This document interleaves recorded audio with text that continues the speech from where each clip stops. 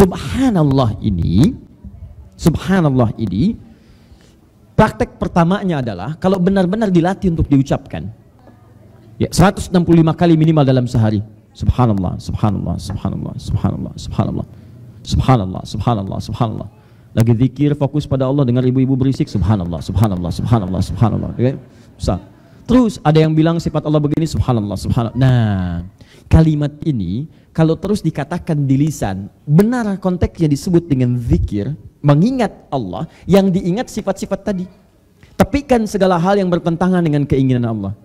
Tepikan segala hal yang tidak benar tentang Allah. Tepikan segala hal yang bertentangan dengan hukum-hukum Allah. Jikalau orang sudah subhanallah, mengalir di lisannya subhanallah 165 kali minimal, masuk dalam dirinya, beredar pada tubuhnya. Begitu masuk ke matanya, maka matanya subhanallah. Dia tidak akan pernah melihat segala hal yang tidak disukai oleh Allah Subhanahu wa taala. Karena bertentangan dengan sifat-sifat dan hukum-hukum Allah. Maka mustahil dia akan melihat gambar-gambar yang tidak disukai oleh Allah. Mata subhanallah tidak akan melihat tayangan-tayangan yang tidak Allah sukai. Mata subhanallah tidak akan pernah melihat maksiat. Lisan subhanallah tidak akan berkata yang buruk. Apalagi membenarkan tuduhan yang tidak baik kepada Allah. Ba'da sholat subhanallah. Tapi setelah sholat selesai, zikirnya selesai, dia mengatakan semua agama sama. Menuju pada Tuhan yang sama, cuman caranya beda-beda. Berarti ada yang tidak masuk kalimat subhanallah ke dalam jiwanya. Cuman di lisan saja.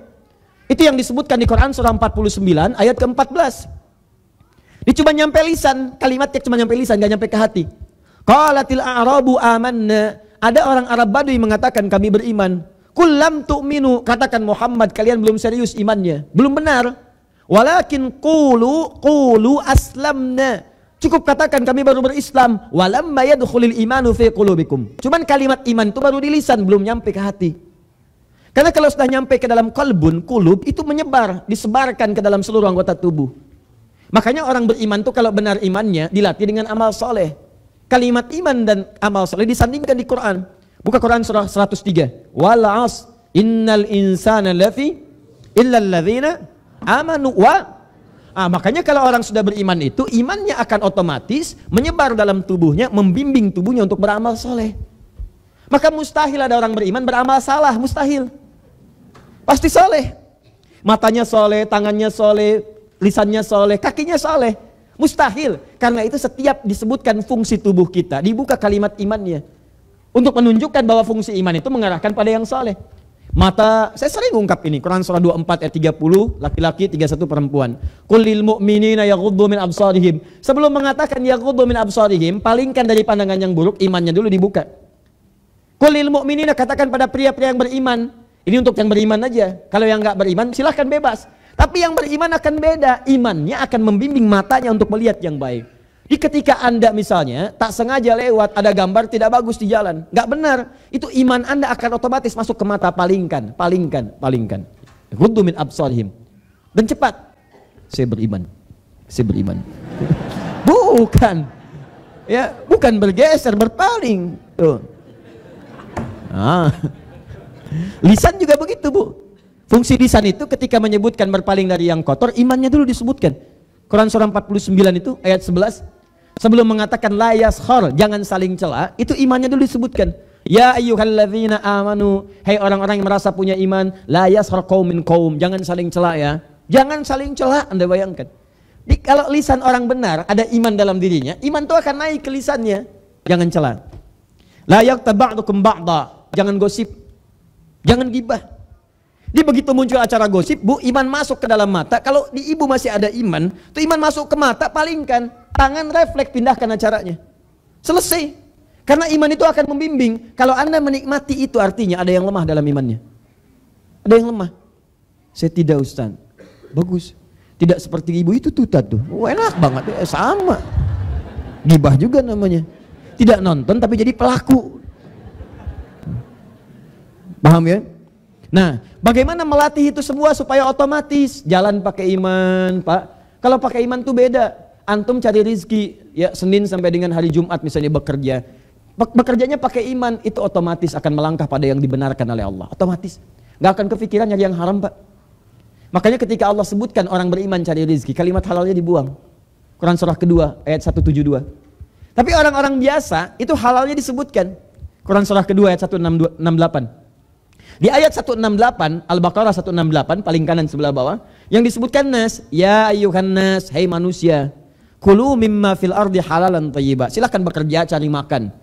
Dapatkan dengan cara yang halal, legal, dengan cara yang benar. Jangan cari dengan cara yang kotor.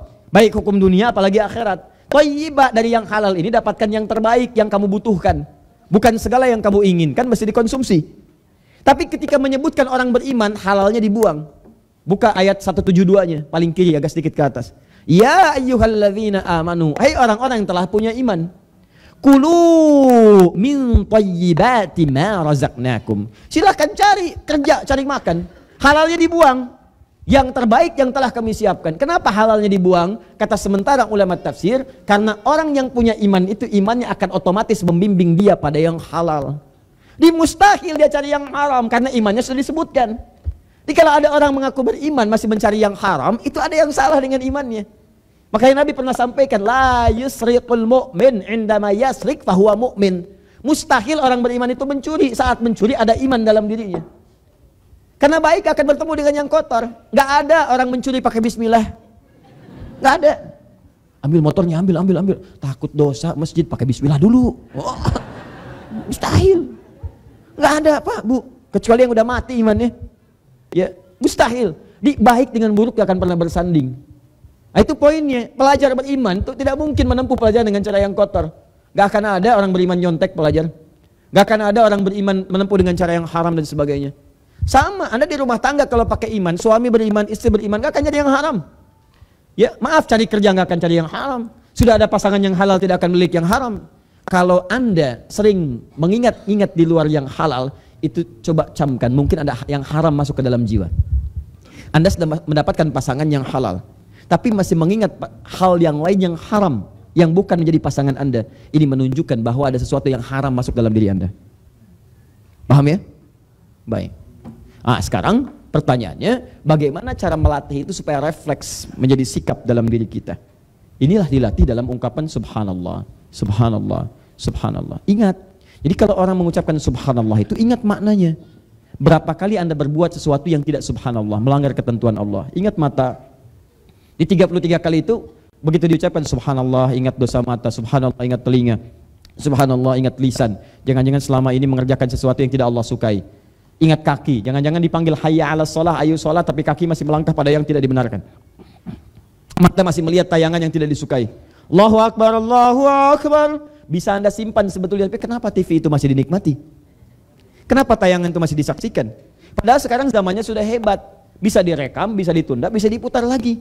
Hal yang tidak nampak di TV sekarang. Bisa dilihat kemudian di YouTube besok. Bisa dilihat kemudian di internet besok. Tapi menariknya kok bisa pada saat itu masih dilihat. Allahu Akbar, Allahu Akbar. Ayo ma, yuk sudah mau sholat 5 menit lagi nih. Pak, 5 menit lagi. Oh ini sudah puncaknya nih pak sebetulnya tukang bubur ini jadi naik haji atau enggak? Oh, oh liatin liatin liatin tuh kan. Ah, oh. cek. Bayangkan kalau masih seperti itu ini ini pesan dari saya. Kalau anda ada ajakan langsung untuk ibadah dan anda sedang menikmati sesuatu di luar ibadah cara paling cepatnya gampang. Bayangkan pada saat itu akan diwafatkan oleh Allah Subhanahu wa taala. Itu paling gampang. Begitu anda sedang melihat sesuatu adzan Allahu akbar Allahu akbar Sebentar ya, sholat nomor dua, ini dulu nomor satu saya selesaikan. Bayangkan ketika menyaksikan itu Anda diwafatkan oleh Allah. Diwafatkan sedang dalam kondisi tidak merespon seruan adzan. Kalau ada yang ngajak maksiat di kantor, ngajak maksiat, ngajak jalan ke tempat yang tidak bagus, ke tempat yang buruk, ngajak olahraga tapi dengan cara yang tidak bagus, bayangkan diwafatkan seketika. Dan berapa pengkhianatan yang sudah Anda kerjakan? Berkhianat kepada Allah, berkhianat pada pasangan, berkhianat pada macam-macam. Diwafatkan dalam keadaan terhina seperti itu. Sedangkan Anda mengharap surga, Firdaus lagi. Sehat.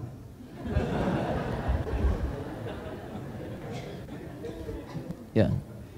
Sudah. Kalau bercanda nggak apa-apa, tapi canda yang menghasilkan manfaat. Kalau canda-canda yang tidak baik kita hindari. Banyak canda-canda dalam suami istri yang bisa berjalan di rumah tangga. Masya Allah. Papa kenapa sih gak pernah ngasih hadiah lagi ke aku selama ini? Dulu sebelum menikah sorry ngasih hadiah. Oh, mama di mana-mana nelayan itu kalau ikannya sudah ketangkap gak ngasih umpan lagi.